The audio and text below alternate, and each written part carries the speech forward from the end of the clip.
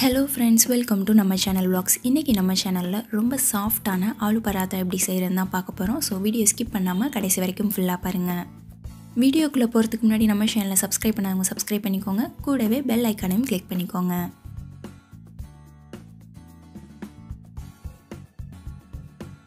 First ஒரு mixing பவுலில் ரெண்டு கப் கோதுமை மாவு அரை டீஸ்பூன் உப்பு ஒரு டீஸ்பூன் எண்ணெய் கொஞ்சமாக தண்ணி சேர்த்து பிசைய ஆரம்பிங்க. தண்ணி பத்தாத மாதிரி இருந்துச்சுன்னா கொஞ்சம் கொஞ்சமாக சேர்த்து சப்பாத்தி மாவு பதத்துக்கு பிசைஞ்சு எடுத்துக்கோங்க. இப்போது மாவு பிசைஞ்சாச்சு. இது காயாத மாதிரி மேலே கொஞ்சமாக எண்ணெய் தடவி இதை மூடி வச்சுருங்க. ஒரு இருபது நிமிஷத்துக்கு இது அப்படியே இருக்கட்டும்.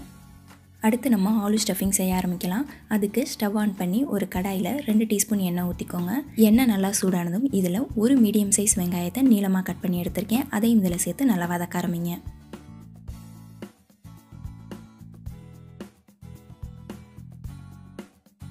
வெங்காயம் லேசாக வதங்கினதுக்கப்புறமா இதில் ஒரு டீஸ்பூன் இஞ்சி பூண்டு விழுதும் சேர்த்து நல்லா வதக்கி விட்டுருங்க.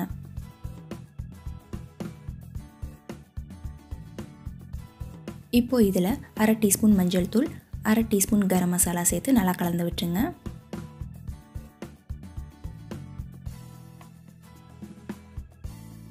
இது கூடவே ஒரு டீஸ்பூன் மிளகாய் தூளும் சேர்த்து நல்லா கலந்து விட்டுருங்க.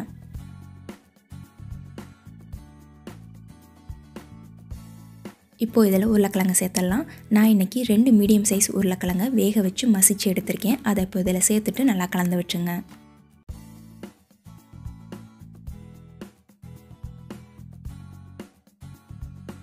இது கூடவே தேவையான அளவு உப்பும் சேர்த்து நல்லா கலந்து விட்டுருங்க.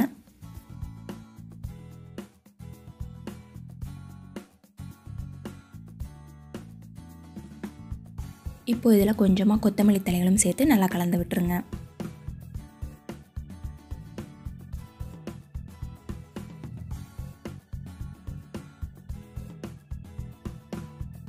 இப்போது ஆலு ஸ்டஃபிங் ரெடி ஆயிடுச்சு ஸ்டவ் ஆஃப் பண்ணிடலாம். இது நல்லா ஆறுனதுக்கப்புறமா நம்ம பராத்தா செய்ய ஆரம்பிக்கலாம். இப்போது நான் மாவையும் ஆலு ஸ்டஃபிங்கையும் எட்டாக பிரித்து வச்சுருக்கேன். அடுத்து நம்ம செய்ய ஆரம்பிக்கலாம். இப்போது சப்பாத்தி கல்லில் கொஞ்சமாக கோதுமை மாவு தூவி நம்ம உருட்டி வச்சுருக்க மாவையும் அதில் சேர்த்து லேசாக தேய்க்க ஆரம்பிங்க.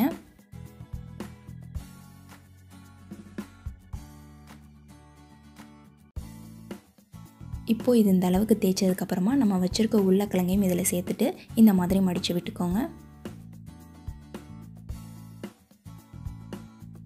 மேலே இருக்கிறத எடுத்துடலாம். இல்லாட்டி அந்த இடத்துல மட்டும் மாவு மொத்தமாக இருக்கும்.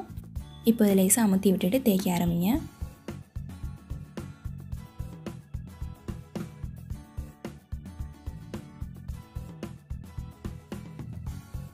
இந்த மாதிரி நல்லா தேய்ச்சதுக்கப்புறமா நம்ம தோசை தவாவில் போட்டு எடுத்துடலாம்.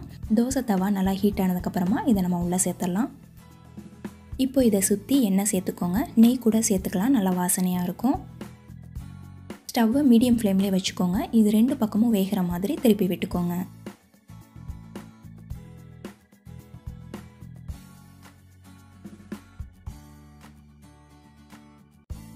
நம்மளோட சாஃப்டான ஆலு பராத்தா இப்போ ரெடி ஆயிருச்சு.